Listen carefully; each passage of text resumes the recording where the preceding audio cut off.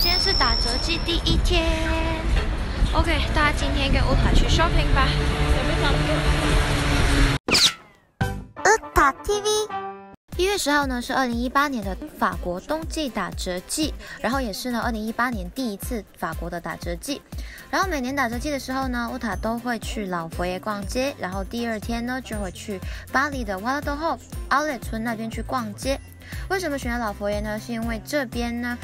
人比较多，比较热闹哦。店与店之间呢，也也排的比较紧密一点。逛街起来，如果做代购的话呢，会比较方便。其实打折季呢，并不是每一个品牌都打折，不过呢，百分之八十九十的品牌都打折吧。今天呢，乌塔就跟大家一起来 shopping，让大家看一下乌塔每次打折季都会看什么品牌。其实呢，乌塔觉得今年打折季的力度呢，比去年要好哦，感觉打折的款式多了。在这边呢，就是有一个老佛爷的集合，里面就是有一些小众品牌的包包，设计都还蛮 OK 的。打折后的价格呢，就在两百到五百欧之间吧。这里呢是什么品牌都有，就是汇集了一些设计师小众品牌。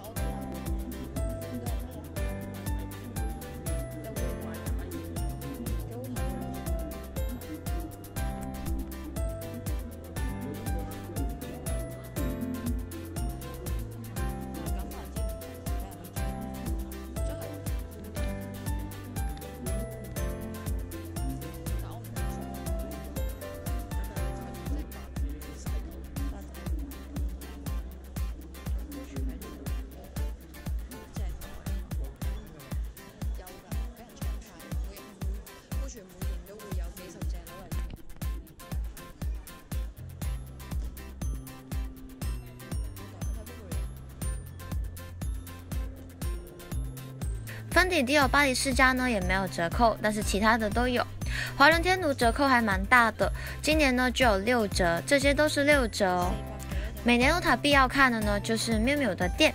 因为呢，不知道为什么我好喜欢他们家的设计，而且他们打折品真的还蛮多。我才发现呢，今年做代购的人好像变少了，因为我是下午去的，可能早上没遇上吧。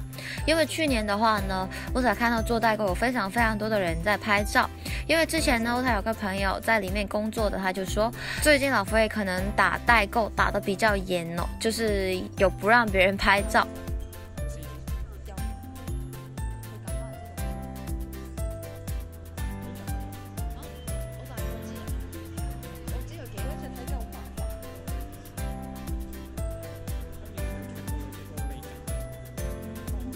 现在我们去到了二层，二层呢主要就是服饰，一层主要就是包包。然后这边呢也是有小众品牌的包包，然后都是一些款式比较特别、比较好看的。但是这一层的价格呢相对比较贵一点，这种包包呢折后大概在五百到七百欧元左右，而且呢这边折扣也不算是非常非常大，就是七折八折左右。然后罕见一点的呢就是五六折吧。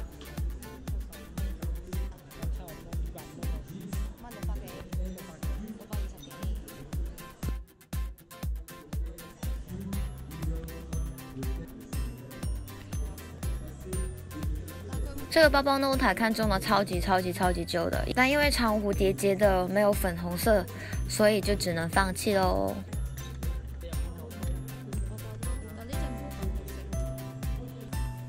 旁边呢，Sophie 家的包也蛮好看的，然后这边折扣也蛮低的，是五折。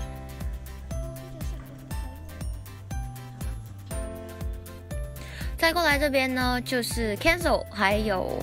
还有 A C N E 的店，然后打折的东西也蛮多的，东西都还蛮特别哦。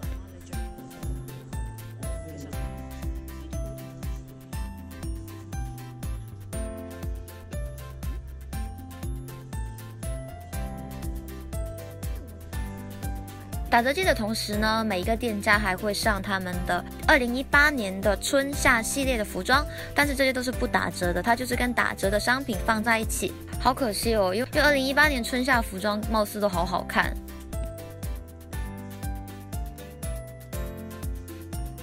最后呢，乌塔呢就在一层看了一点小珠宝，今年的折扣呢也蛮厉害的，而且款式还非常非常的多，连乌塔之前超想买的兔子系列呢都有折扣。那乌塔觉得呢，这一次的这个打折季呢，第一天给我感觉就是，呃，品牌折扣多了，就是有很多品牌好像上次没有看到有折扣，然后这次也有参加。OK，那么我们今天节目就到这里了，然后请期待乌塔之后的去打折村给大家拍的打折片段，之后也会有一个打折季战利品开箱。OK，敬请大家期待吧，好我们下期再见吧，拜拜。